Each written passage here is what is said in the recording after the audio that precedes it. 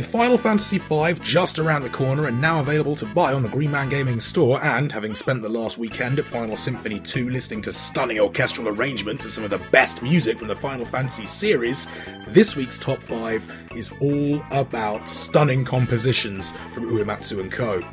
This is a list that's sure to be contentious, and everyone will have their own favourites and musical memories, but that's the point. We want to hear what you think. What are the musical moments from the Final Fantasy series that have stuck with you the most, and why? And while you think about that, here are our top 5 epic Final Fantasy music tracks. Frankly, there are too many for one list, which is why we've used the word epic, and much of what is to come is comprised of battle music, which isn't really surprising.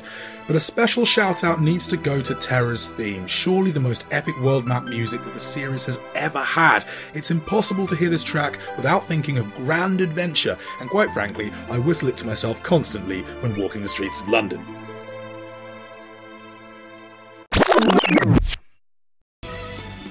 Final Fantasy XIII might not be to everyone's tastes, but the soundtrack is exceptional, we can agree on that.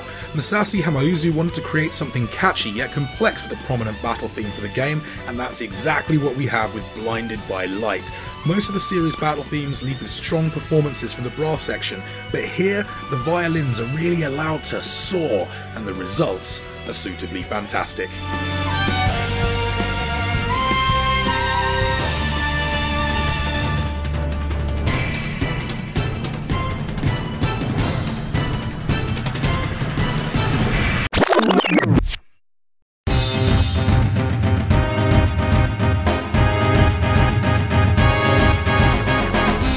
There are so many amazing tracks from Final Fantasy IX to choose from, and The Dark Messenger could easily have made it in here, but Hunter's Chance is a little different. One of the standouts from the Festival of the Hunt, it's an energetic, driving piece that manages to capture the essence of the danger and excitement surrounding the event.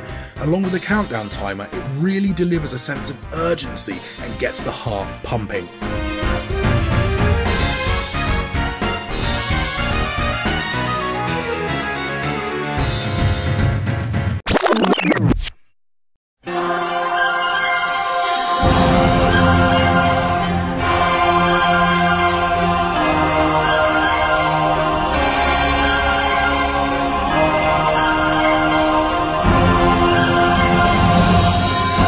You're a long-time Final Fantasy fan, you're obviously a fan of Gilgamesh. He's one of the best characters in the series, and Battle at the Big Bridge, or Clash on the Big Bridge as it's sometimes known, is his leitmotif. Its opening is dizzying, a cascade of rapid semi-quavers that sets the fast and furious tone for the rest of the piece. After getting cast into an interdimensional void in Final Fantasy V, Gilgamesh pops up in a number of later games, and as such, this is one of the few tracks to have been reinterpreted and rearranged numerous times over the years. The best version, though, for my money, is probably the orchestral romp played during Distant Worlds. Seriously, it'll make your hair stand on end. It'll make the hairs on your hair stand on end.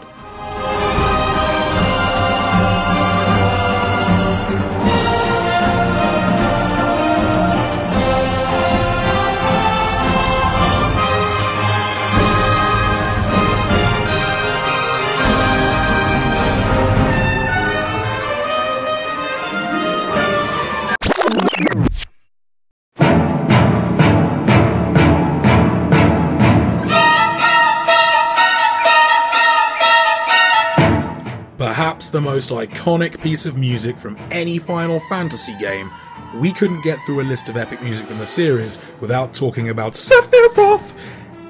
Everything about One Winged Angel is absolutely sublime and designed to make you soil yourself in awe. There are the timpani drums heralding an incredible fight, strings shrieking in fear, trumpets going mad, and that's all just in the first minute. Then comes the incomprehensible Latin chanting, which just sends shivers down your spine. It rises and falls in epic fashion. And the Advent Children version also has wild, untamed guitar soloing, which is absolutely beautiful. Yes, One Winged Angel might be a little bit overplayed these days, but frankly, it's so brilliant, we can't begrudge it that one single bit.